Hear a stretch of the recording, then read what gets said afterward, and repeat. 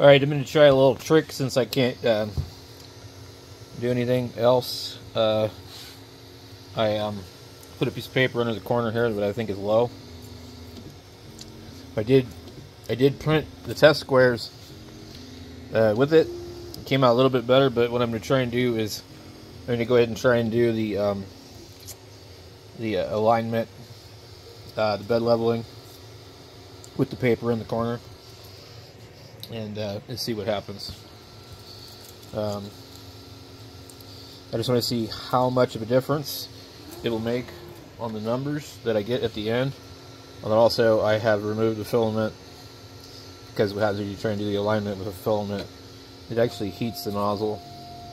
You'll have crap dripping on your print bed. Um, so, um, theoretically, even if the bed is warped on this, the printer should be able to check for that, make the appropriate measurements at the different points, and be able to print. Why is it not doing that? Well, that's a pretty good question. I guess it must be so far bad somewhere that it can't accommodate for it. Uh, I don't know if this rail is plastic. I think it is. Um, like I said before, these were not even. See if you measured from here and here to the print bed, it was wrong. But then again, I just thought about it. This was probably correct, and the print bed was probably wrong.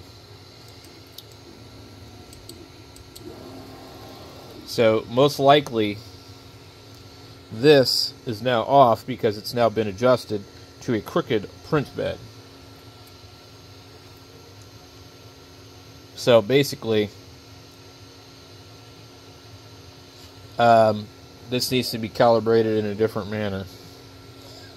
Um, so I, I don't know how I'm going to do that, but it just dawned on me. It's like, well, wait a minute. If the print bed is crooked and we know it's bent, and you use the print bed to measure this thing, you're going to measure it incorrectly.